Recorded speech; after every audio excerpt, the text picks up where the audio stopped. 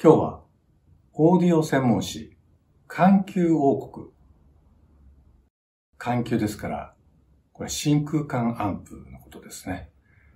えー、オーディオのかなりマニアの方々が読まれる専門誌ですが、その専門誌にエムズシステムの波動スピーカーをご紹介くださった、えー、新しさんというオーディオ評論家の論評をご紹介したいと思います。立体感や臨場感を生み出す波動スピーカー。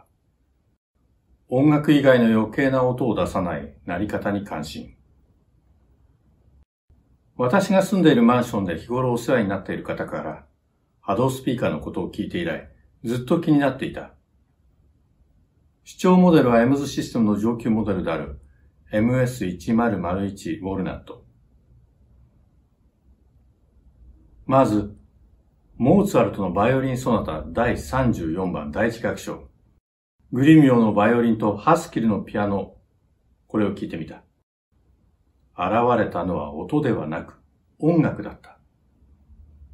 まるで視聴室の中で演奏しているような印象である。気を良くしてサンサンスピアノ競争曲第2番第1楽章。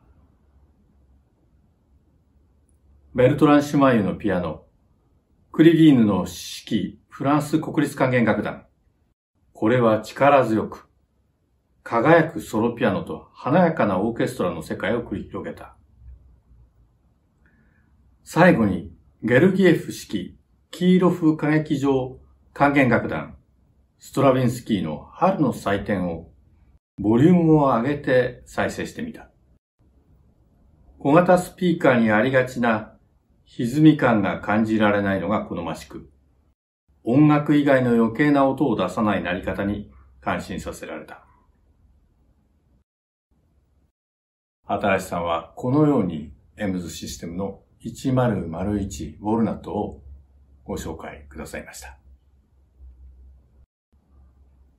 素晴らしい評論をお寄せいただきましてありがとうございます。